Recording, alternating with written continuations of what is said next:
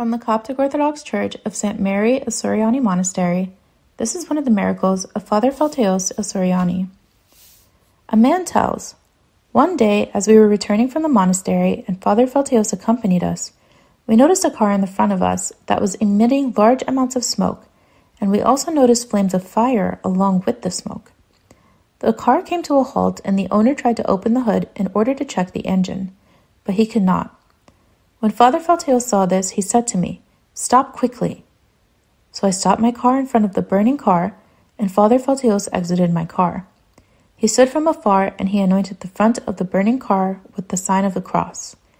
Immediately afterwards, the car's hood was released open on its own. Father Faltaous then bent over to the ground and he picked up some sand and he threw it over the fire outside of the car.